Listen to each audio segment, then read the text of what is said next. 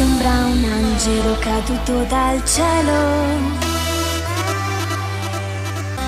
Come vestita quando entra il sassofono blu. Ma si annoia appoggiata a uno specchio.